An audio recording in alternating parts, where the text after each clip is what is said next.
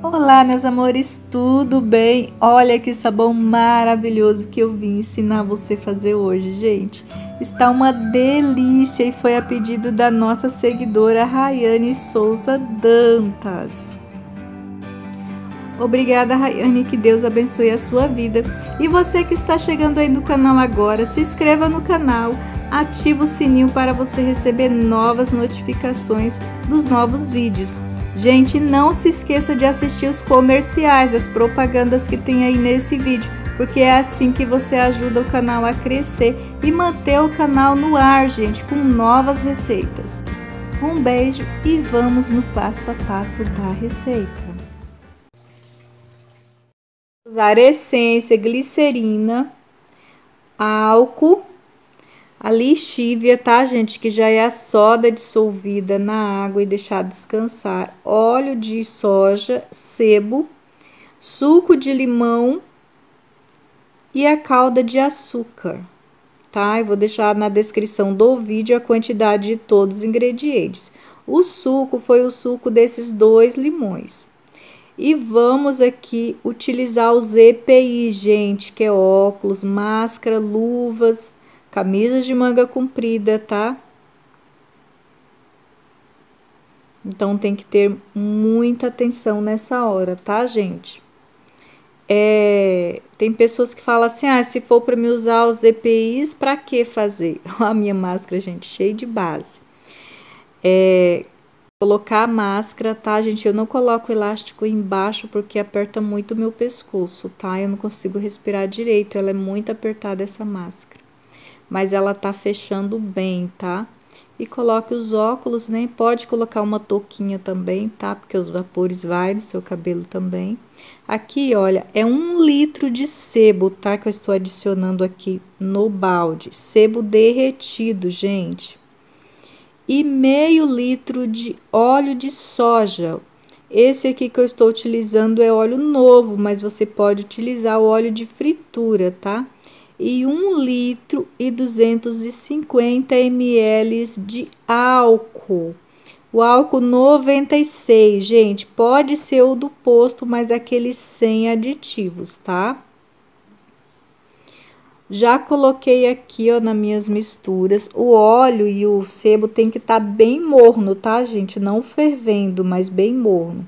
Aqui, olha, foi uma calda de açúcar, 500 gramas de calda de é, 500 gramas de açúcar mais 500 ml de água. E ali foi o suco dos dois limões. Eu bati os dois limões com casca e tudo. E depois coloquei na medida de 500 ml de água, tá, gente? Até dar 500 ml. Peneirei esses limões, tá? Aqui é a lixívia, olha, que eu estou adicionando no balde foi 200 gramas de soda cáustica mais 200 ml de água. Deixei descansar por 8 horas para depois fazer o sabão, tá? Olha, ele fica assim meio grosso, depois ele rapidinho, gente, ele fica líquido, tá? Aqui eu vou dando umas pausas aqui para não ficar muito longo o vídeo, tá? Mas é dessa forma, você vai mexendo Aí, de repente, ele já vai ficar bem líquido, tá bom? Quando ele ficar líquido com a espuminha por cima, aí já pode colocar a calda de açúcar, tá? A calda de açúcar com suco de limão, tá bom? Que já eu já misturei os dois, né? Olha, já ficou bem líquido aqui o nosso sabão. Olha, bem líquido mesmo, tá vendo a transparência? Aqui, olha, já adiciono a calda de açúcar com suco de limão, tá? Vou deixar aqui na bolinha acima também outros sabões glicerinados que tem aí no canal, tá, gente? Tem sabões aí muito lindo mesmo, tem com folha de mamão. Olha que lindo, gente, e dá muito sabão esse sabão aqui. Olha, ele já tá dando ponto, não sei se dá pra ver aí, ó, mas quando levanta a colher, ele forma uma natinha, assim, tipo como se fosse melado de açúcar. Aqui eu estou adicionando as 20 ml de glicerina, gente. A glicerina é opcional, só se você quiser. E lembrando, gente, que a calda de açúcar que foi colocada aqui nesse sabão não é uma glicerina, tá? Aqui eu vou colocar essência. A essência, gente, é opcional na quantidade. Eu coloco entre 30 ml para essa quantidade aqui de sabão, tá? Essa tampinha aqui, ela dá 5 ml cada tampinha, tá? É, fica muito gostoso. Eu coloquei aqui uma essência de limão, né? Porque o sabão é feito com suco de limão. E esse sabão vai ficar um verdadeiro luxo, muito bom mesmo. Porque o limão, gente, ele também dá uma quebrada, também dá uma baixada assim no pH, né, do sabão. Fica maravilhoso, gente, muito 10 mesmo esse sabão. Olha, a natinha. Eu coloquei assim um pouquinho de álcool a mais, gente, para ele não formar aquela espuma por cima, tá? Olha, aqui esse sabão ele demora de 6, é, de 12 a 24 horas, tá, gente? Para ele endurecer. Então, não se preocupe se o seu sabão demorar a endurecer. Esse sabão ele demora mesmo, tá? A calda de açúcar, gente, ele é para deixar o sabão mais transparente, mais maleável e ele ajuda também na limpeza, tá? Olha, aquela espuminha que fica junta muito por cima, com essa quantidade de álcool não fica, tá?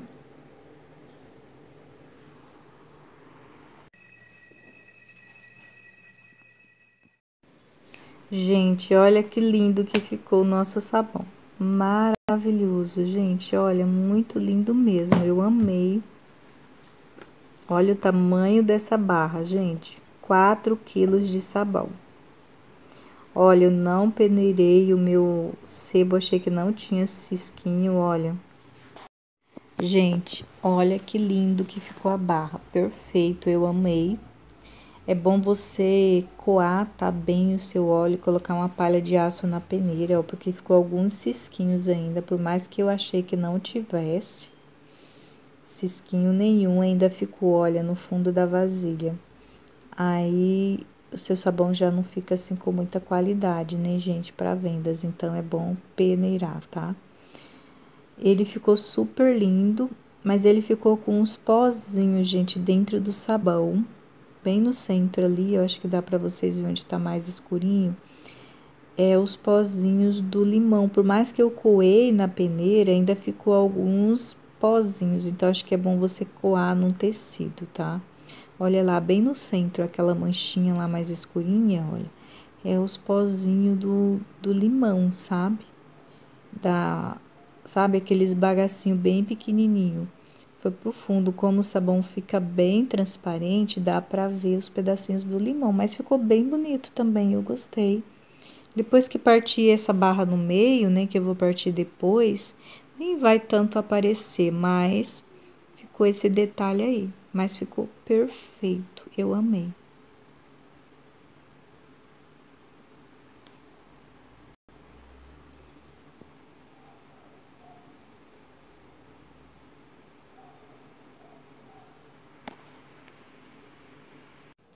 Olha, amores, essa manchinha no meio que eu falei aí, é o pozinho do limão que desceu, tá? Os pozinhos da casca.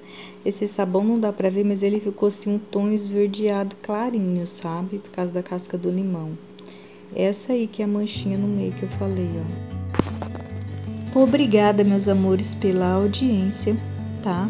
Compartilhe esse vídeo com outras pessoas, porque assim você vai estar ajudando outras pessoas a ganhar um dinheirinho a mais ou também ter uma economia doméstica, tá? Não fique com essa preciosidade só para você, porque tem pessoas que fazem e não passa para outras pessoas os vídeos porque atrapalha as vendas. Mas eu digo para você que quando você compartilha, Deus te abençoa mais e mais. E sempre vai ter novas pessoas que vai, é, mesmo você compartilhando, elas vão comprar de você. Sabe por quê, gente? porque mesmo eu compartilhando os meus vídeos nas redes sociais com vocês, tem pessoas que compram sabão de mim. Então, Então, se você compartilhar, Deus vai te abençoar também e você vai continuar a vendendo seus produtos, tá? Um beijo, fiquem com Deus e até o próximo vídeo. Tchau!